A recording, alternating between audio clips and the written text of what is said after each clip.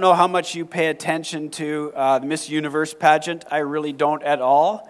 But this week I heard an interesting story from that. And in the uh, Miss Puerto Rico pageant leading up to the Miss Universe pageant, Ingrid Rivera was in that pageant, and she was by far favored to win.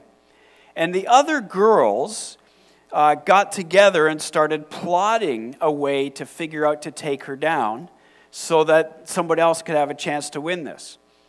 And uh, they plotted together, they made sneaky plans, and one thing didn't work, another thing kind of worked, whatever.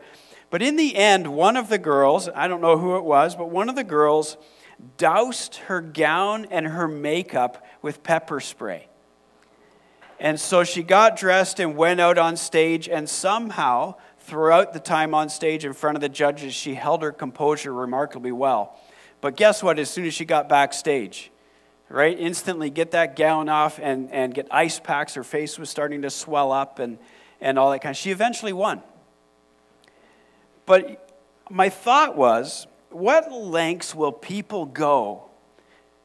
What lengths will people go to to get their own way? Or when someone else looks like they have the advantage? Or, or when things uh, change and adjust and I don't like it? What, what lengths will people go to? Uh, looking back over my life, I got in a lot of trouble for exactly this kind of thing. I grew up with, uh, I call it now a, a, strategic mind, but I wouldn't have called it that when I was a teenager. It was a sneaky, devious mind.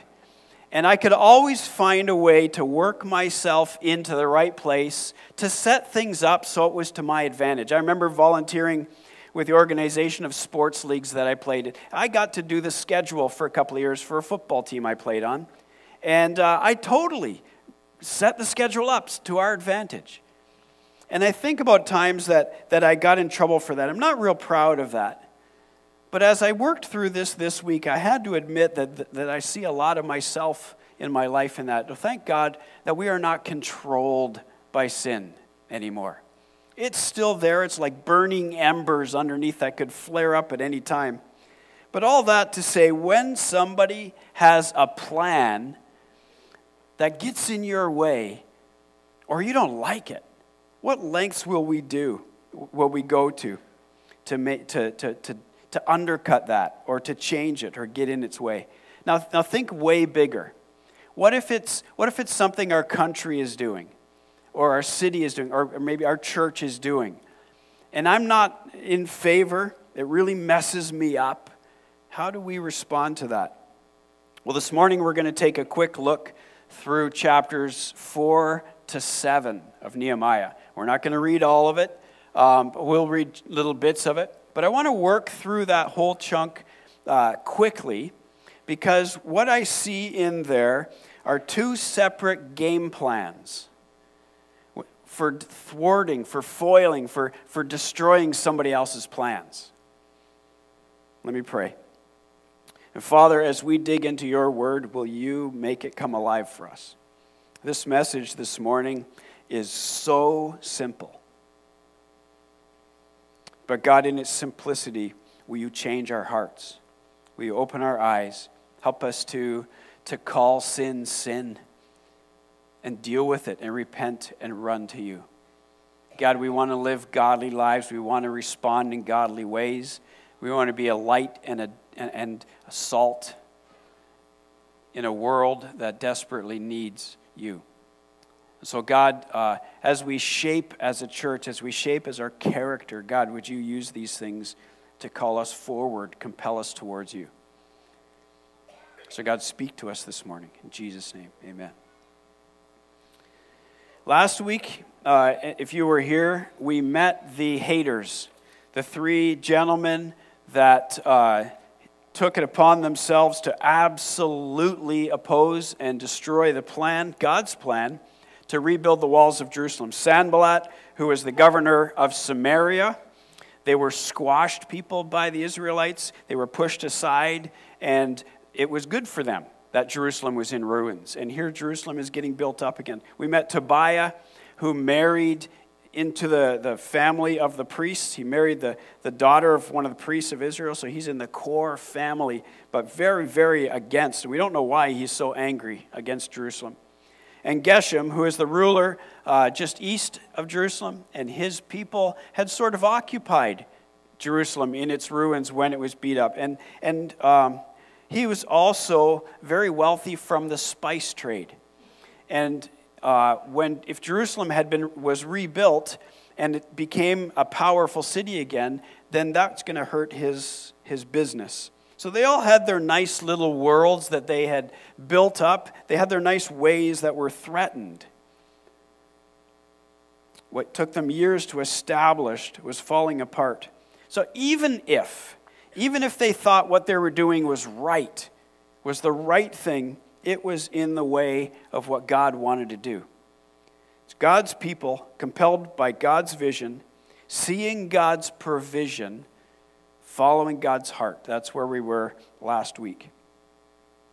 So, what if I don't like where we're going? Could be elections, could be a new coach on your hockey team, family decisions, the boss's new rules, neighbors, my neighbor's landscaping, church budget, a planning committee, um, it could be all kinds of different things. And I think as we look at the opposition here in these chapters, for whatever reason, I think we start to see very clearly two different plans. So, two ways to thwart somebody else's plans. How's that? And as we go, we're just going to build the, the lists of those things on the screen. So, it's a good test for Josh upstairs this morning to, to stay with us. So, if you have your Bibles, go to uh, Nehemiah chapter 4. And I'm going to just start on verse 1. And I'm going to read little bits of it and I'll stop and interject. I'm not going to talk for a long time on any of these things. As it builds on the screen behind me, you'll see where it's going and then we'll comment on the end. Chapter 4. Now, when Sanballat heard that we were building the wall, he was angry and greatly enraged. The first thing right off the bat when someone else's plans are, are being achieved and it's messing me up, the first danger, the first risk, the first sign of something's off is anger. And it's interesting, not just anger, he was greatly enraged. And he jeered at the Jews. Verse 2 And he said in the presence of his brothers and of the army of Samaria, What are these feeble Jews doing? Will they restore it for themselves? Will they sacrifice? Will they finish it up in a day? Will they revive the stones out of the heaps of the rubbish, the burned ones at that? I just see, uh, you know, the old cartoons where you had the, the villain who's the great big guy, and he's going and going, and then the, who's beside him? The little guy. Yeah, yeah, yeah. Well, that's what we got happening here. Sanballat's jeering and calling. He's got this huge group of people together and he's mocking them. And then beside him, Tobiah the Ammonite was beside him saying, Yeah, yeah. What, if, what are they building? If a fox goes up it, it's going to break down. Like they're just, they're just doing everything they can to mock and to pull them down. And, and interesting here, what I see, the next stage after the anger was here are these guys that were angry. They started talking and convincing others and building their little circle of people, building their network of people with their perspective. Do you see that? That's an interesting way. Think about where we're going. And, and so, to thwart someone else's plan, right? You get angry, and then we start talking about it and build my circle, my network. Verse 4 How did the other people respond? Nehemiah says, Hear, O our God, for we are despised. Turn back their taunt on their own heads, and give them up to be plundered in land where they are captives. Do not cover their guilt, do not let their sin be blotted out from your sight, for they have provoked you to anger in the presence of the builders. Uh, the other plan we see, step one, is what? Pray. Interesting, different starting point. The one group of people, the first starting point is anger. The other group of people, the starting point is prayer. Verse 6 So we built the wall, and the wall was joined together to half its heights, for the people had a mind to work. There's step two in the plan work ethic. Up, up the expectations. Let's work hard.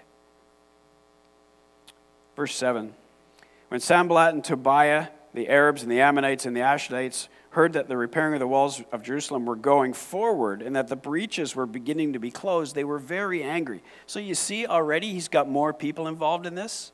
It started to be three. Now there's the Arabs, the Ammonites, the Ashdodites. This group's building. He's building his little circle of hate here. And they got together in verse 8 and plotted together to come and fight against Jerusalem and to cause confusion. So, this group, this network that he built of haters, now is getting together to plot and plan to bring confusion and frustration. Verse 9, and we prayed to our God and set a guard against them that night. See the difference? What's happening here? Two different plans going completely in different directions. Verse 10 In Judah, it was said, the strength of those who bear the burdens is falling. There is too much rubble. By ourselves, we will not be able to rebuild it. The people building the walls started to listen. They started to hear the rumors. They started to hear the threats. And they started to get doubt in their heads. This is too big. This is too much. We can't do it. And then if you look at verse 12, I'll come back to verse 11. At that same time, Jews who lived other places were calling them, saying, Oh, forget it. Just come home. Just return to us forget the rebuilding. So, so not only were they hearing the words from, from the enemies, in a sense, they were hearing words from each other to just give up. They've lost it, they're getting doubt. And then verse 11 and our enemies said, They will not know or see till we come among them and kill them and stop the work. They won't know what's coming, they won't even see it coming. We're way more powerful than they think. We'll sneak right in there's another part of their plan. Verse 13. So, in the lowest parts of the space behind the wall, in open places, I stationed people by their clans with their swords, their spears, and their bows. So, next on the other side is stay awake. Let's be alert. Let's be ready. Let's be prepared. But let's keep going. And I looked and arose and said to the nobles and to the officers and to the rest of the people, Do not be afraid of them. Remember the Lord, who is great and awesome, and fight for your brothers, your sons, your daughters, your wives, and your homes. Remember. Remember God. We're, we're afraid. We're starting to doubt. They've instilled fear in us. But remember, this is God's plan. This is God's vision. It's God who has come and asked us. It's God who will fight for us. So there's a huge encouragement as part of their plan. Verse 15 to the end of that chapter, I'm not going to read all of it, but this describes how that they continued to work. And as every day, uh, some people held spears and some people work. And then eventually, everybody labored with one hand on their work and one hand on their weapon until the wall was continued to be built. And we come to verse chapter 5. Now there arose a great outcry of the people and of their wives against their Jewish brothers. For there were those who said, With our sons and our daughters we are many. So let us get grain that we may eat and keep alive. There were those who, who said, We are mortgaging our fields and our vineyards and our houses to get grain because of the famine and we're borrowing money, and the king is taxing us, and we're forcing our sons and daughters to be slaves, and other people are holding our vineyards and our fields. And Nehemiah steps in and says uh, in verse 7 You are extracting, exacting interest on each other. And the thing you are doing in verse 9 is not good. You ought to walk in the fear of the Lord. So, what happens here is in the midst of the building, just amongst the Jews, we see life has continued on. There's a famine. They're not getting enough to eat. They're having to mortgage their houses, and, and uh, uh, people that they're in debt to are taking their fields and their vineyards and all that kind of stuff. And the world keeps getting smaller and smaller, and it's becoming more and more difficult. And then Jews lending money to Jews are charging interest, and it's squashing the entire thing. Now, in their law, they were not allowed to charge interest. You loan money, you loan money, but you can't charge interest. And, and so they're breaking the law. And he's, he's, Nehemiah calls them out and says, This is not good. And they agreed together in verse 12 to restore the things that they had done. And all the assembly in verse 13 said, Amen. And the people did as they had promised. So I see in part of this plan is to call sin sin, recognize sin, clean it up, purge sin from our community. We need to live together in a healthy community. And that's part of the strategic plan is be healthy together and be right with God. How are we doing? We're staying on track. Good job up there. In, uh, in the continuing of that chapter, I won't read 14 to the end of that chapter. We see a great picture, and this isn't on there. Nehemiah, the leader, is ridiculously generous and selfless in this. And come to chapter 6, and we come back to Sanballat and Tobiah and Geshem, and the rest of the enemies heard that the, the, about the wall, and there was no breach left. And Sanballat and Geshem said, sent to me, saying, Come meet with us together. They had harm, if you continue to read that. They intended harm. And so what did they do? They're saying, Come meet with us in our place. And as we read the story, their, their expectation was we've got this now, this big network, this circle of people that are hate, haters trying to stop this. And they say to Nehemiah, Come on over, we want to meet with you. But their plan was to gang up on him and to kill him. He says, he responds three or four times I'm, I'm working, I can't come down, I'm not going to let the work stop. That happens four times. So, part of this strategic plan then is let's get together and let's gang up on him. And then, verse 5 In the same way, Sanballat, the fifth time, sent his servant to me with an open letter. Do you know what that means? An open letter would be if a courier was taking a letter from me to you and it was an open letter, the courier would make sure every single person could read that letter it would be read publicly, it would be open. And so it was something, an open letter meant everyone, from the lowest to the highest, everyone needs to read this. All right? So Sanballat sends an open letter, and this is what it said It's reported among the nations, and Geshem also says it, that you and the Jews intend to rebel. That is why you're building the wall. And according to these reports, you wish to become their king and you've set up prophets to proclaim you in Jerusalem. There is a king in Judah, and now the king will hear, now the king, King Artaxerxes, will hear of these reports. So come now and let's meet together. You see what he's done? He started crazy rumors. He, start, he started rumors and spread it like crazy to take Nehemiah down. In verse 8, Nehemiah says, then I sent to him, saying, No such things as you say have been done. For you are inventing them out of your own mind. For they all wanted to frighten us, thinking their hands will drop from the work, and it will not be done.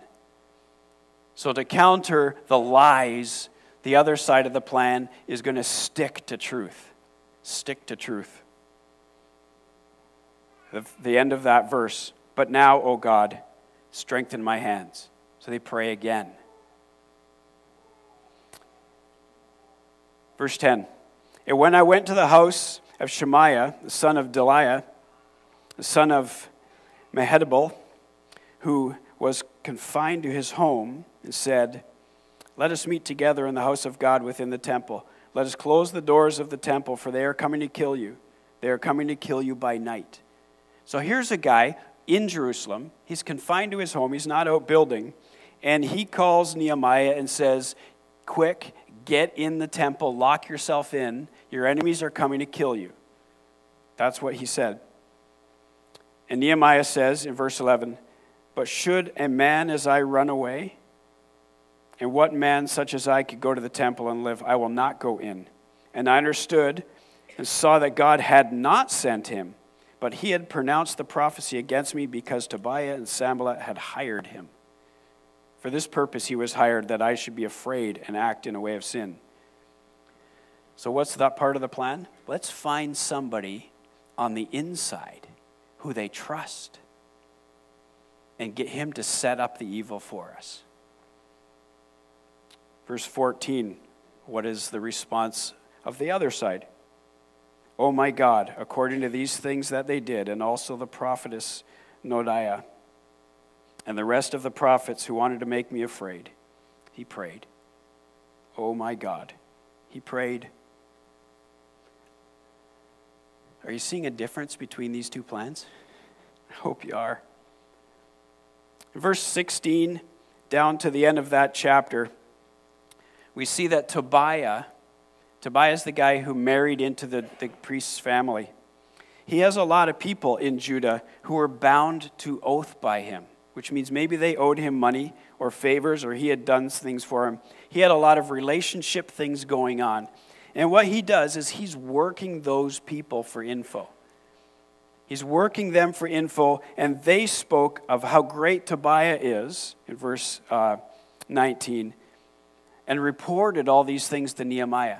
So, what Tobiah is doing is he's got all these, these, uh, these people relationally connected or indebted to him that he's using as pawns in his power play and trying to spread the net from within to make Nehemiah fall. And then, the end of that verse, Tobias sent letters to make me afraid. He continues to pursue and to pester building fear, sending letters and letters and letters and letters and letters to create more and more fear. The beginning of chapter 7, and now the wall had been built, and I had set up the doors, and the gatekeepers and the singers and the Levites had been appointed. They finished the wall. Now go back to chapter 6, verse 15, and I skipped over this on purpose. So the wall was finished on the 25th day of the month of Elul in 52 days. In 52 days, they built the entire wall, they finished it. And it was clear to the enemies that God had done it. And that, as much as anything else, instilled all kinds of fear in the enemy. But I want to look at this for a second. That's a lot of stuff. And I don't usually like having a whole ton of words on the screen. There's a lot of stuff, but that's pretty simple. Is that not straightforward? Let me pull all this together. There is always opposition. We will always have differences. And people have a right to speak to it and to protest. And often those kind of things are necessary. But how we go about that is absolutely critical. I think one of the key things in this is that we need to call sin sin. And as I look at these lists here, one of these lists, everything on that is deceptive and undercutting and selfish and sneaky. It's sin. And it has no place here.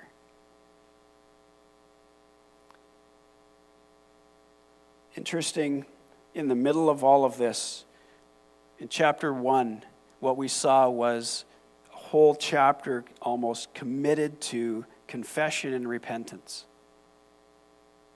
Here, in the middle of all of this confusion and enemies and building and everything, we have a whole chapter committed to confession and repentance. The next three chapters, and Nathan will be talking about next week, are committed to confession and repentance. In the middle of all of this, that's huge in my life, in your life, in our church, which list will we pursue? Will we call sin sin and purge? Those are two absolutely critical things here. Call sin sin. And the second thing, if we go back to last week, call God's plan God's plan. Because if we know it's God's plan, then it's God's plan. And will we come along? Will we band together? Will we pull together to make it work? It was absolutely critical. We talked about this last week. It was absolutely critical that these people knew that it was God's plan to rebuild the wall. They needed to know how God had worked Nehemiah's heart. They needed to know how God had worked King Artaxerxes' heart. They needed to know that God was the one who provided all of the resources, that his fingerprints was all over this. They needed to know that. And when our board comes up with direction and vision for us and we make decisions, we need to know that they have done the due diligence and the seeking God and, and the significant time in that. If, if God gives the vision and direction, will they band together to make it happen? As a church family, as a fellowship of people united to accomplish God's purposes in the big things and in the little things, not just church stuff but our lives in relationship to God's character. Do we see ourselves in these lists? I think God's word is clear. So, God's people, compelled by God's vision, not my vision or your vision, God's vision, seeing God's provision, following God's heart. God gives the vision and direction. Will they band together to make it happen? Will we? The key phrase in that sentence, or a key couple of words, is band together. In ancient Israel, one of the things that uh, historians tell us is to sit together around a table and to eat together was a serious deal. You did not sit at a table and eat with someone that you were in disagreement with. That was against all of their cultural rules. To sit around a table and eat together was a huge deal of communion, of unity, of togetherness, of single mindedness, of purpose and intent and love. And we, right now, are going to sit around a table together in communion. I'm going to ask the servers and the musicians if you'll come and, and find your positions now. You can take a minute to get ready. One of the most important together things that we can do as a church is the Lord's Supper. In unity, in community, in unison, in communion with one another. To come together now around the Lord's table. So we're going to do this. We're going to come to the table in groups of six or seven. And there's tables all around the room, so just go to the one that's closest to you. Please don't line up. When a table is finished, then make your way up to the table for the next round. Don't line up. Um, the servers at each table will guide you through the process. They will give you the instructions. They will read scripture. They will pray with you. They will lead you in communion together. And sometimes when we have communion, sometimes when we approach the Lord's table, it is a real personal thing. And it's me and God, and I have an intimate moment myself with God. Sometimes when we come to the Lord's table, it's a little bit more like it was in the early church, it's not about me. This is us and God. And so we're going to focus on that part of it today. Today, let's consciously, together, let's emphasize the together part of this and the unity part of this. As we worship Him, as we remember His death, His burial, and His resurrection, and His gift of salvation for us. Let me pray. And then, as Jamie leads us in the first song, um, just make your way to the tables and we'll go until we're done. Is that fair? And we'll worship together. Let's pray. Our Father, we thank you for your word. As simple as this is today and, and as unorthodox as that message was, God, it's just a simple message of how we should be treating each other, how we should be treated, treating each other as a church and in our communities and at work and at school. God, may we live lives that please you. May we call sin sin. Get on board with where you are going. And God, if we disagree, or if we're angered because something's going on that messes stuff up, God, may we take the approach of prayer, of hard work, of prayer, of being ready and preparedness, and of prayer, and of purging sin and confessing, and of prayer. And God, we see that so clearly. This is the posture you have for us. So, God, would you rid us from the desires to sneak around and undercut what other people are doing, or, or even worse, the, the vision you have given us. Thank you, Father, now for the opportunity to sit around tables together because we are together. We are a family. And if nothing else, we are bound together because of the blood of Jesus. Thank you for the gift of salvation. Thank you for purchasing us back from sin and from ourselves that we might live to honor you. So, God, give us a wonderful time of remembering and of celebrating together. In Jesus' name, amen.